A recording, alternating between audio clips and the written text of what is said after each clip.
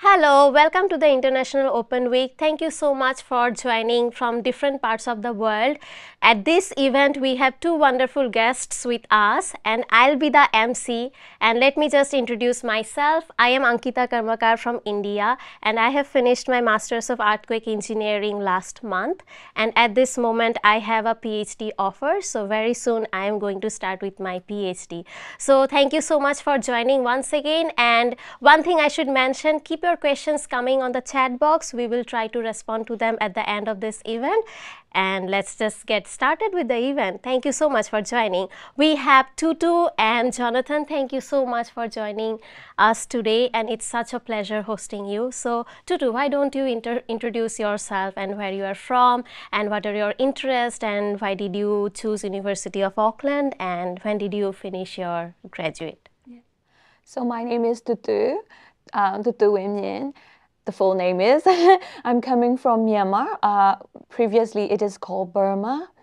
So I finished my master's in public health in 2020. Uh, I just graduated actually. I finished it like uh, I I received my graduation after a year of I, that I finished. So I'm currently working at the University of Auckland as a research fellow. So I work jointly with uh, Auckland City Hospital. Oh, that's wonderful. Wow, nice. That's great. We So we have a doctor with us. What about you, Jonathan? Well, thanks for having us. Um, my name is Jonathan, Jonathan Li. I'm from China, Beijing. Graduated uh, with Master of Commerce degree, currently working at Bank of New Zealand, BNZ, in the back office as uh, in the analytical role. Wow, that's great. So we have a doctor and a banker with us. Such a wonderful evening. So uh, I, I have some uh, interesting questions to ask and this would be very helpful for the international students that are willing to come join at the University of Auckland. So the first question I would ask Jonathan you is, why did you choose your program and what did you hope to do after you finish it? It was obviously when you applied for the University of Auckland. So what yes. did you, yes. why did you choose it? It was an easy question for me. I've uh, always passionate about numbers, economics, finance. Um, you know, early days watching those movies about investment, uh, banking and stuff. So, um, so yeah, so there was no shadow of doubt, um, I did commerce and um, did my honors and did my master, done my research. That was all in the commerce uh, degree. That's something I'm really interested and uh, really passionate about. And uh, yes, it was no surprise. Um, landed my job in uh, one of the um, greatest bank. wow. BNZ. So oh, enjoying it. BNZ, enjoying it. that's yeah. great. Love it. Mm, I have you. to open my bank account there. sure, I'll help you. Thank yeah. you. that's nice. So you already had your aims and your goals sorted before you started at the University of Auckland.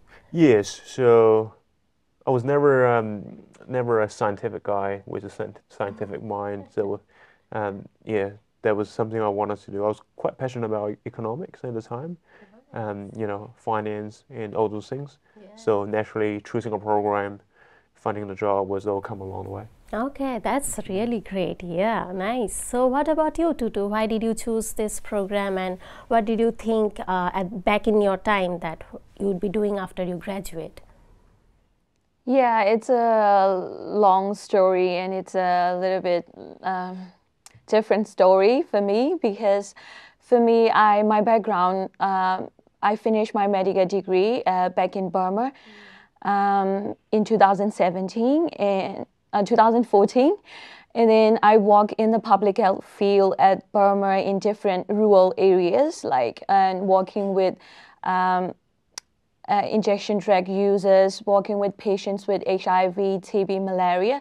So I work like a like uh, three or four years, and then um, after after a long time, then then like I went to like uh, explore more about like uh, what's what's about public health things, but in Burma, like we can't study further, like uh, for masters or PhD, if we are not a uh, government employed.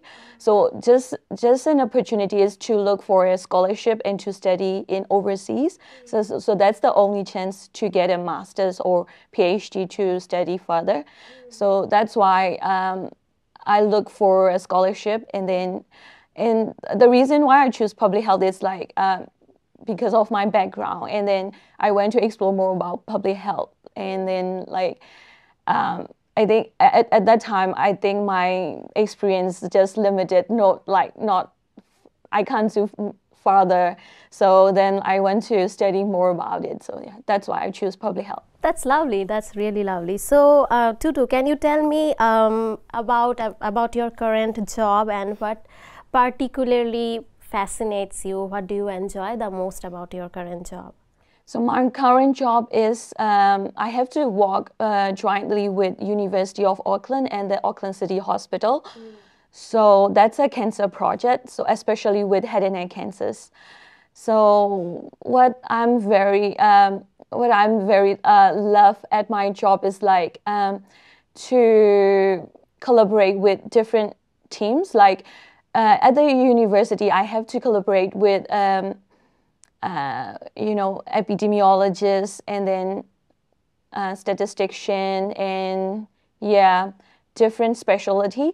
But at the uh, at the Auckland City Hospital, I have to work with surgeons and then and and then different head and neck cancers team members. So they are like very quite fascinating. Like they are very helpful. And then I love to work like doing some studies and research uh, related to cancers and yeah to see like how i can help with the research uh, with my research work yeah okay i'm sure you must be visiting patients as well and yeah i, I yeah because of yeah. the covid things i didn't have much chance to see patients and to join the clinic and the yeah and the surgery walk, those things. But yeah, I will, I will, I'm looking forward to do. Nice. To see more patients. Yeah. yeah, that's nice. What about you, Jonathan? Can you tell me uh, some interesting things about your current job and what do you do for your current job? Right. Yes. Um, so I'm currently working at the Bank of New Zealand. So it's a back office job. Uh, it's in the product team,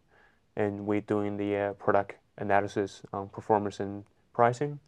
So I really enjoying it, and there's also um, it's, it's, it has always been you know the people, uh, the culture, and uh, the continuous learning that's uh, attracted me with my job. Mm-hmm. So you interact and you work closely with uh, uh, good people, uh, motivated people, passionate people, yeah. and help you to develop yourself and continuously learn new stuff. Mm-hmm. Even you know a few years down the track of graduation, you still learning something new every day. Mm-hmm. So that's something I enjoy the most uh, and the environment and the culture that's um, yeah really good. Mm. That just um, that's something you know keep me wake up in the morning very excited and go to work. Mm. So is it is it is it uh, reviewing your other performances of the sales or is it something similar to that that you no, work? it's a, it's a back office. So we're doing majority of the uh, analysis. Mm. So dealing with the numbers.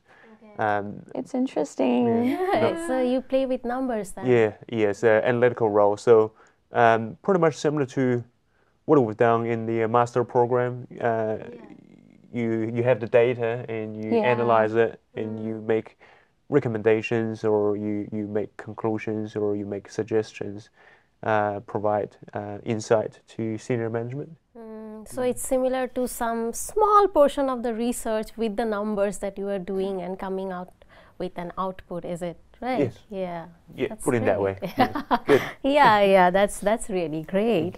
So uh, i would ask Thu Thu in what way do you feel your studies at the university of auckland have prepared you for this career path? Yeah the the my master's um, degree is like really helped me working with my research work because uh, in my master's, the first year, I did some papers about epidemiology and biostatistics thing, like basic, advanced. I took that other people's not uh, didn't uh, not very interested in, but I took because of my interest. Mm-hmm. So yeah, it's really like um, it's really good to follow your heart. And yeah. yeah yeah and I, I follow my heart and choose like those papers and then that helped me a lot in uh, a lot when i what, what i'm currently doing so it's kind of epidemiology work so that helped me a lot yeah in doing the research work and also in my second year when i did my thesis yeah the course of that i, I have learned from my um, first year. So helped me a lot in like doing uh, different kinds of research work, like different aims and objectives, and yeah, and also the supervisors from the university are very helpful. Yeah. yeah they're very kind, helpful, supportive. Yeah, they are during the whole. COVID year. They're very supportive. So yeah, without them, I couldn't do much. Yeah, so yeah, that that's a really like uh, foundation for what I'm currently doing. So yeah, that helps me a lot. yeah yeah as you mentioned regarding the supervisor since i have also finished my master so my supervisor was such a kind person and they have you know like all the time whenever i was in trouble or i couldn't do my assignments or anything it's they're always at a go to help you and yeah i do understand so yeah so y- you mean to say that your courses and your research work at the university taught you well for the industry life. Yeah. So what what are your experiences? Like how do you think that the courses that you took at the university of auckland prepared you for your career? Yes, um, that was a good question. The um, the part I felt about university, not only the technical knowledge that you've built over the course of your study, but also the soft skills that you've added on. Um, you know, your com- communication skills, team working skills, um, problem solvings, and also you, you, you know after the uh, the postgraduate, you pick up some more logical thinking through your um, research uh, program, and that that self study um, ability skill that something benefit me even you know graduate a long time um, well long time after gra- graduations. So everything I've picked up uh, at university helped me to progress to make me ready for uh, the job market for the industry and also you know study overseas is never easy obviously I didn't Yeah. yeah, yeah, yeah. Uh, like o- obviously, I graduated before COVID all happened, but then even though at that time, um, study overseas wasn't easy, but one of the things that university did really well is that you never feel lonely or helpless. There are always tons of people there to help. you know, the em- employability program and the student support help over there. So you have like a number of places people can go regularly uh, to get help, so they never feel being left alone, hang and dry, but they feel empowered and, and they feel, um, you know, um, confident. So that that's really what motivated me and, and, and got me ready. So. Yeah, yeah, yeah, I, I, I agree with Jonathan and uh, to, to you as well because the projects and the assignments are designed in such a manner that you are working with the team and then that prepares you for uh, team management and how you work with the team and that you know generates uh, confidence to walk into the industry life. Yeah that i agree with that. So i'll just say to all my viewers thank you for joining once again and keep your questions coming. We will try to respond to them as far as we can and let's just continue our event and with this such wonderful people. So let me start uh, asking Thu Thu uh, apart from the subject knowledge what some other useful things that you suggest that you learned at the university Yeah, like Jonathan mentioned, like there are different kinds of soft skills and then teamworks that university um, delivered, and then we have to work on the yeah while we are studying. You know and then also there are lots of like um, different kinds of activities in university that like you like you it's like you are not just study study all the day and every time like there are different act- activities so yeah.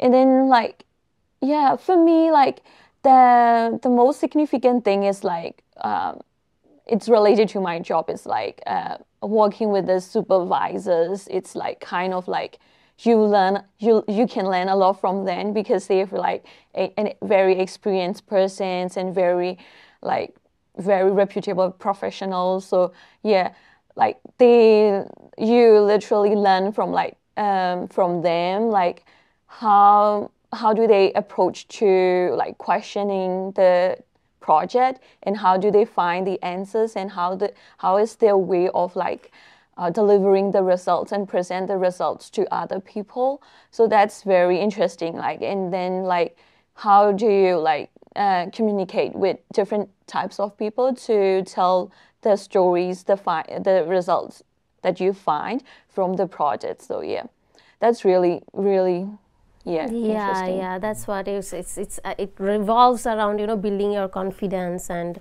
uh, playing well with the team management. And these things what we learned. So what about you jonathan? What did you apart from subjects what did you learn uh, from the programs and the subjects that you have taken apart Yeah. from the just the coursework?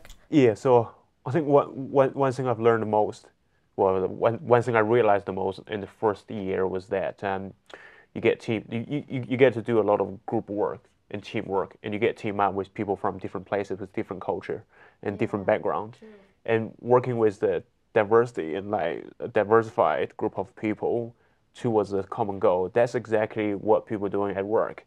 You know, you team up with different teams, different subject matter experts, um, and uh, to achieve the same result.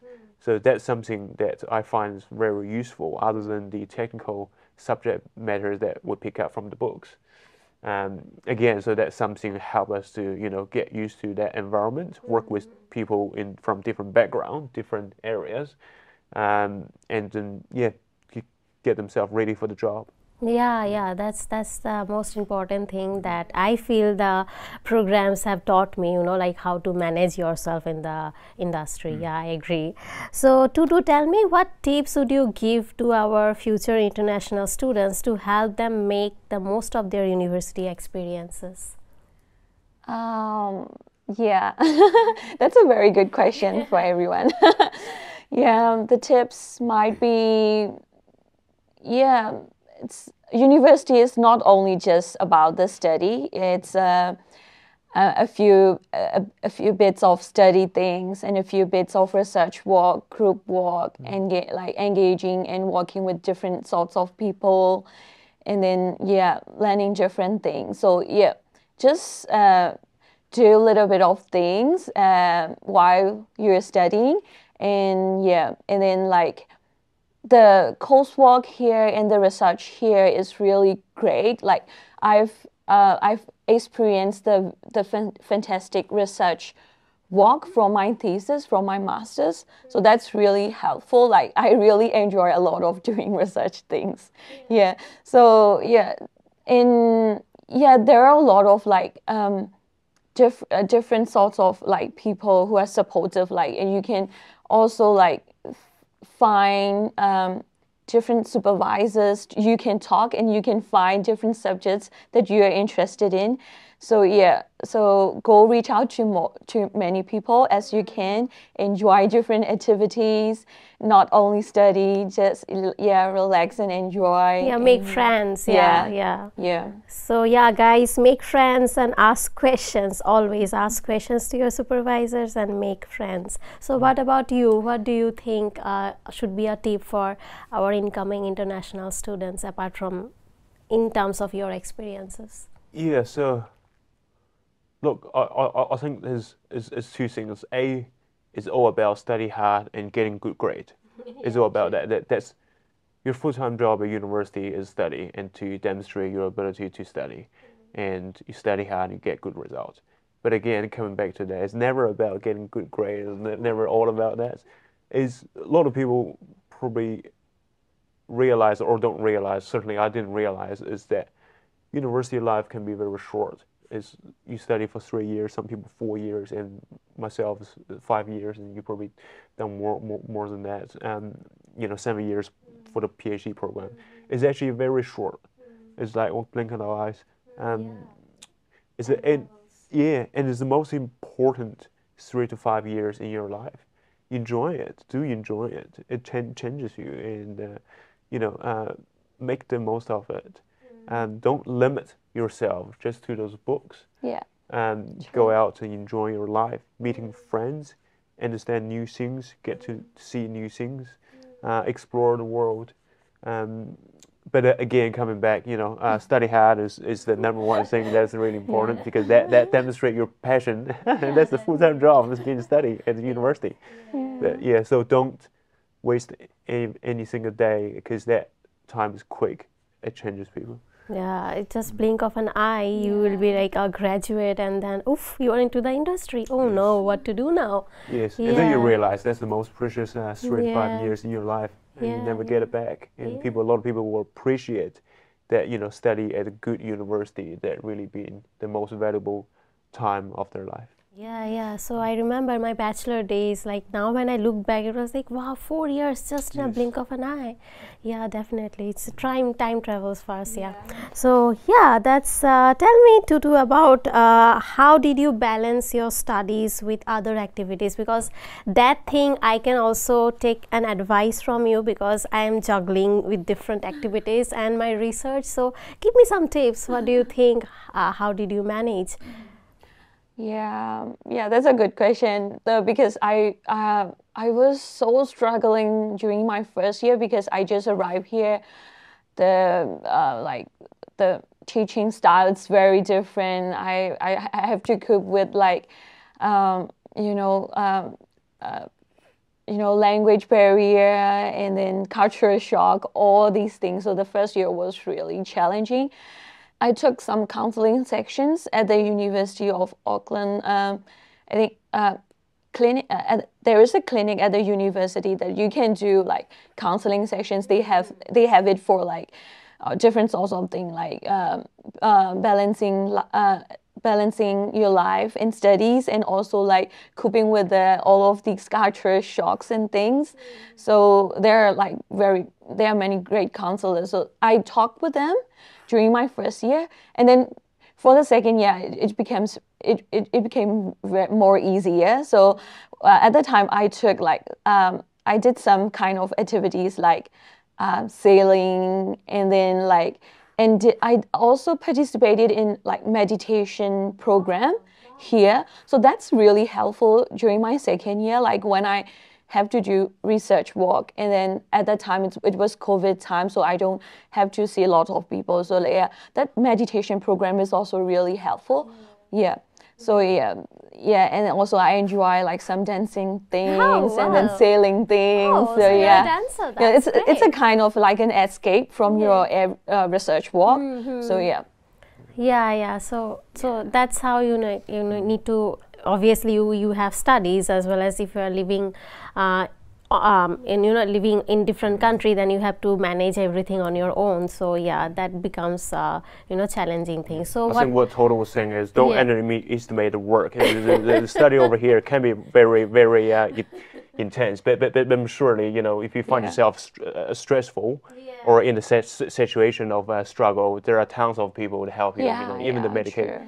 Meditations, uh, you know, the counseling. So don't worry. So Yeah. there are a group of uh, professionals there to help you go through the, the uh, hard time. Yeah. So, what was your Jonathan back in your time? How did you manage your studies as well as your activities? Like, how did you cope Yeah, with okay, all the I'm things? not sure about the program, but uh, quite the opposite. I feel like you know we had all, all the time in, in my life, and um, it was it was great. It was good, a great, enjoyable uh, three five years in my life. Um, you know, you get up early in the morning, you jump on the bus, you go to uh, your early lectures, and then you after the lecture you you meet up your um, uh, the group of uh, people for your assignment, to do your group work, and then you, you know, quickly go to the gym or you know go to a club and then- Yeah, a lot of um, activities. yeah, and then you, after that you go back to the uh, library to study, and then you always study with your friends. And you sort of like motivate each other, competing with each, each other, and um, and then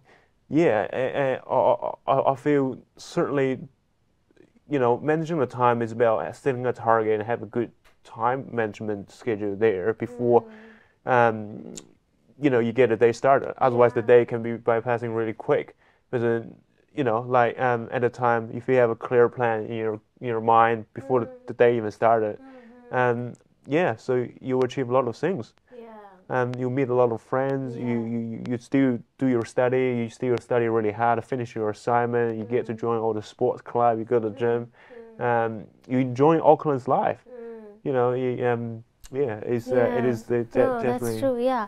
So you know, like uh, uh, balancing activities with your studies is like sometimes I feel that you know, like as you mentioned, you know, um, dancing. You mentioned gym, going to the gym. Yeah. So those kind of activities also gives uh, you know like peace, peace of mind, and that for me, I I I, I do art. So I'm an artist, you can say, yeah. So you know, sometimes when I'm stressed, and I some I just sit down and relax and listen to a soft music and just start sketching. Yeah, and like you mentioned, dancing and sailing, and then you said going to the gym. Yeah, so those things also helps in you know balancing your activities along with your studies. So yeah, guys, just just do it, man. Just go for it. It's okay. Everything would be fine, and follow your heart and just make that mindset. Thank you. So that's all the questions I have for you. It was such nice knowing about you and you and banker and uh, doctor. Thank you so much for answering these questions. And all our viewers came up with some questions which we will try to respond now. And your insights would be very helpful to our viewers and our incoming international students. So, do we have the question, please? Thank you. Okay, so from Sung, we have a question for Thu Thu. How did you find and get your scholarship? You mentioned you did get a scholarship, so tell me about uh, the story. Yeah. So for me, like, um, yeah, as I mentioned earlier, like for me, like to study further, there's only one way, like to find a scholarship and then uh, studying overseas because yeah, because it's limited in back in my country. So yeah. So um, uh, so I'm most of the time I look for like um, I look for the English speaking countries because like um, yeah I found it like um, for if like um, if I go to the English speaking country then it would be easier like because yeah, Um, I don't need to study like another language so yeah. language, but uh, so I've uh, I look for the English speaking countries like Australia's, New Zealand's, and then yeah, um, and US or UK. So there is like a New Zealand aid scholarship program. Now it's called the just the New Zealand New Zealand scholarship program. So that's uh, that's uh, at the time that's um, they give an opportunity for like um, most of the countries like uh, in Southeast Asia. So yeah, so I applied it, um, and there is like a kind of each steps that you have to go through to get the scholarship, like interview and then um, and then uh, sitting IELTS ex- examinations and these things. So yeah. Um, and I, I'm so lucky like that I got the New Zealand Aid Scholarship because it's really like um, they're very like they give you full support like stipends and then there is a student advisors that i can like ask for help and then uh, every time there's something's happen i can look for help. So like they have this specific student advisors from the new zealand scholar aids program.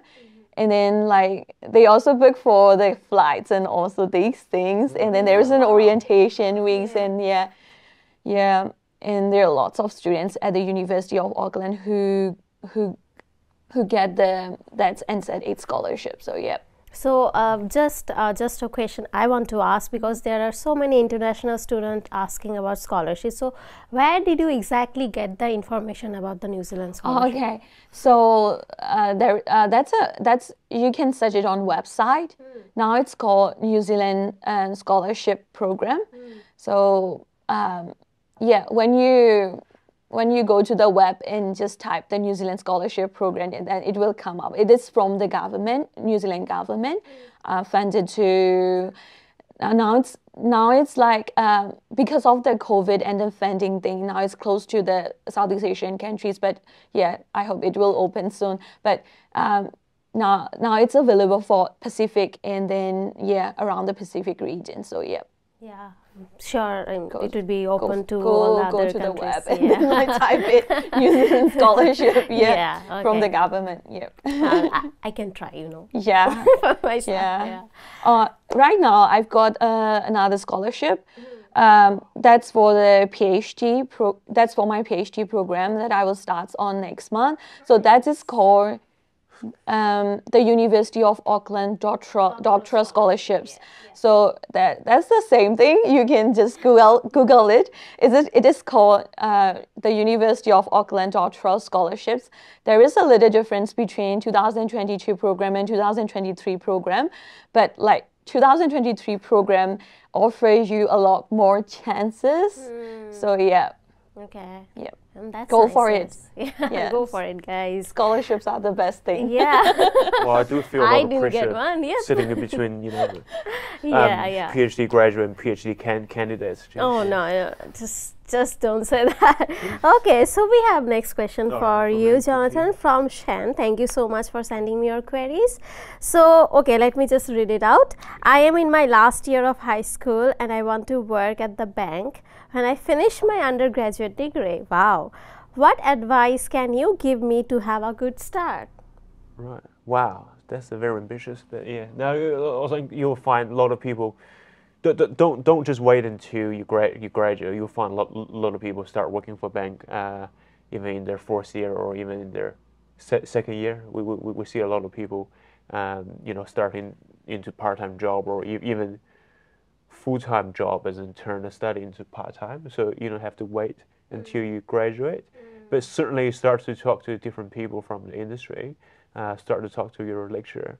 Uh, just get a bit of feeling about you know what it's like to work in the bank, what's day to day like, um, and uh, you'll you'll be su- surprised. May- may- Maybe there's something you really enjoy, something you really like, but also slowly, you know, when you talk to different people, you probably find yourself, oh, want to work for somewhere else, want to work for overseas, uh, want to work for other in- industries as well.